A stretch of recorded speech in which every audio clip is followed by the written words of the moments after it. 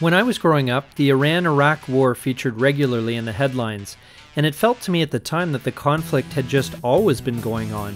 As a Twilight Struggle event, it can have some impact on the late war board situation. We'll take a look at it today here on Legendary Tactics. The Iran Iraq War event is very similar to other war events like the Korean War or the Indo Pakistani War. The main difference between it and the others is the timing. With its arrival in the late war, many times it comes too late to be of consequence, but it still merits a close look, and we'll do that now. Let's look at the event. Iran Iraq War is a starred, neutral, 2 op late war event card. A player who triggers the event picks a target of invasion. Iran or Iraq invades the other. Roll one die and subtract one for every opponent controlled country adjacent to the target of invasion. The player wins on a modified die roll of 4, 5, or 6. That player adds 2 to the military ops track, regardless of the die result. If a player is victorious by getting a favorable die roll, that player gains 2 victory points and replaces their opponent's influence in the target country with their own. Please note that you can still trigger the event if you control both countries.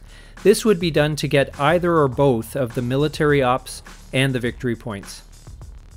This event's effectiveness depends on the board situation, which, at this stage of the game, is somewhat predictable. The Middle East in the late war tends to be dominated by one superpower, typically the USSR. That's because of all the card events that pop up from the mid war onward that favor the Soviet position in the Middle East. If that's the case, the need for this event will be limited. You could use it for the mil ops, but only if there isn't a decent coup target anywhere, which is unlikely. You can get the same amount of mil ops either way. If you control both Iran and Iraq, as the USSR typically does at this point, it would be best to use the ops value for a coup somewhere else, even in a non battleground country where it'll have more of an impact. You can also use it to try for the two victory points if you control both Iran and Iraq. It's a 50% chance provided your opponent doesn't control any neighboring states, but that chance might be worth taking in order to ward off war games or to approach or stave off auto victory. Every victory point counts at this stage. This card can also be a source of victory points for the Soviets if the Flower Power event is in effect, so the US player will need to factor that into the calculus as well. Of course, if the fate of the Middle East still hangs in the balance, this can be a valuable event, especially if your opponent doesn't control any neighbors of your target country. Please note that Afghanistan and Pakistan count as neighbors to Iran here, even though they're in a different scoring region. All things being equal, Iraq will likely be a more attractive target as it is a higher stability and therefore harder to coup. It also may have less of its neighbors controlled by your opponent compared to Iran.